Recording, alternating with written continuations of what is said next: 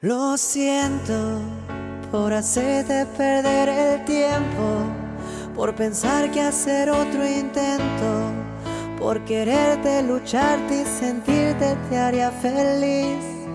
Reviento, porque a veces ni yo me entiendo. ¿Cómo voy a entender lo nuestro si nunca te entendí Tú siempre decías que nunca te irías si no querías bien. No luchar por lo que quieres solo tiene un nombre y se llama perder. Si te hice daño no fue sin quererte, sino sin querer. Dime solo qué prefieres si tienes la opción de tener o temer.